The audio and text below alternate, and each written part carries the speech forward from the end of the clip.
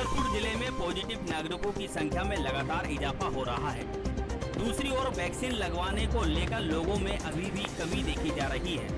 यही कारण है कि रविवार को बड़ा मलहरा सामुदायिक स्वास्थ्य केंद्र में सन्नाटा पसरा रहा। इसी प्रकार शनिवार को भी यही हालात बने रहे। हम चार बजे तक कुल 33 लोगों को ही टीकाकरण किया जा सका। आदर्श जन कल्याण समिति की अध्यक्ष श्रीमती मुमताज़ बेगम ने क्षेत्र के नागरिकों से अपील करते हुए कहा कि वैक्सीन लगवाने से किसी भी प्रकार का कोई भी साइड इफ़ेक्ट नहीं है। ह्यूमन बॉडी का इम्यूनिटी पावर इससे बढ़ता है। परामर्शदाता घोष मोहम्मद, नागरिकों से सोशल डिस्टेंसिंग का पालन करने, मास्क लगाने और सैनिटाइजर का उपयोग करने, लगातार साबुन से हाथ धोने, सावधानी बरतने की अपील की। परामर्शदाता गोस्त अहमद ने अब तक 45 से अधिक उम्र के अनेक लोगों को वैक्सीन लगवाने के लिए प्रेरित किया है। आदर्श न्यूज़ के लिए बड़ा मल्हारा से सफीक बेग की रिपोर्ट।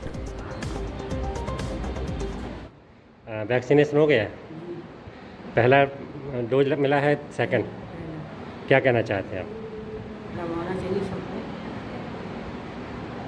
और? ज़रूरी है। आप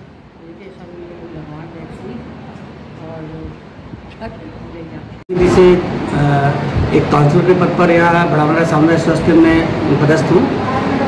और क्या कारण है कि वैक्सीनेशन को लेकर लोग कम दिखाई दे रहे हैं। आज तो बिल्कुल भी संख्या नदारत दिख रही है।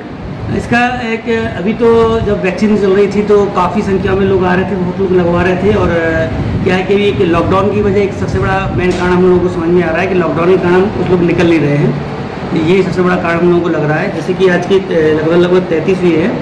और सबसे बड़ा कारण ये भी हो सकता है कुछ लोगों में भी जागरूकता नहीं है। और जो जागरूकता के लिए हम लोग बताते बार बार बोला जा रहा है कि आप लोग वैक्सीन करवाइएगा। और वैक्सीन करने से आप लोग सुरक्षित रहेंगे। और साथ में ये भी है कि आप लोगों को वैक्सीन लगे, फ़र्स्ट डोज भी लगे, सेकेंड डोज भी लगे, लेकिन फिर भी आप लोगों को सुरक्षित रहना है। मास्क को पहनना है सोशल डिस्टेंस में रहना है, हाथ को धोना है। ऐसा नहीं कि आप लोग समझे कि अगर हमको वैक्सीन लग गया है और आप समझे कि हम सुरक्षित हैं तो ऐसा नहीं है। कई लोग पॉजिटिव आ रहे हैं, लेकिन आप लोगों को कोशिश यही करना है कि कोरोना का टीका लगता है, उसके बाद भी आप लोगों को वैक्सीन दूरी बना के रखना है और प्रोटोकॉल के तहत सारे नियम का पालन करना है आप लोगों को।